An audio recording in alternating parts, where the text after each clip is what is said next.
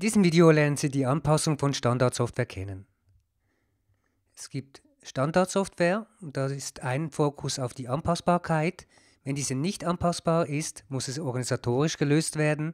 Falls ja, ist eine technische Anpassung möglich. Bei den technischen Anpassungen gibt es vier verschiedene Arten. Die Anpassungsprogrammierung, Module, Parameter oder Tools, Masken und Listengeneratoren. Die technische Anpassung wird fachlich auch Customizing genannt. Wir schauen uns zuerst die Anpassungsprogrammierung an. Bei der Anpassungsprogrammierung wird zur Standardsoftware zusätzlich noch selber eine Software, Individualsoftware, erstellt. Diese ist in der Regel außerhalb der Standardsoftware. Ist der Quellcode jedoch bekannt, kann die Standardsoftware auch angepasst werden. Die Anpassungsprogrammierung hat Vor- und Nachteile. Ein Vorteil ist es, dass es eine maßgeschneiderte Lösung ist und ich kombiniere die Vorteile von Standard- und Individualsoftware. Nachteil ist, Updates werden schwerer, weil ich die Software natürlich verändere und wenn die Standardsoftware dann Updates fährt, habe ich eventuell Probleme damit.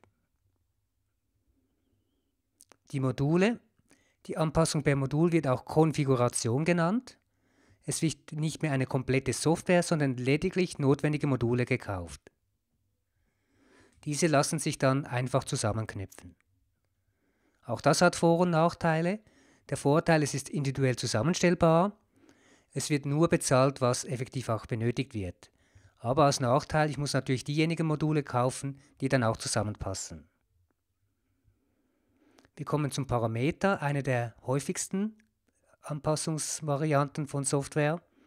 Bei der Parametrisierung wird nichts programmiert und auch nichts neu zusammengestellt, konfiguriert. Es werden lediglich Werte innerhalb der Standardsoftware eingegeben, in der Regel via Masken in Tabellen. Diese Eingaben steuern dann den Programmablauf unmittelbar. So können zum Beispiel Währungen, Länder und sogar Maskeninhalte angepasst werden. Ich gebe also in eine Tabelle Werte ein und diese ändern dann meinen Ablauf und das Verhalten der Software. Das hat auch Vor- und Nachteile. Individuelle Anpassungen ohne Programmierung ist möglich und ist eine sehr rasche Anpassung. Allerdings ist es sehr komplex. In der Regel werden auch externe Fachleute benötigt, welche diese Einstellungen vornehmen können. Tools und Masken und Listengeneratoren.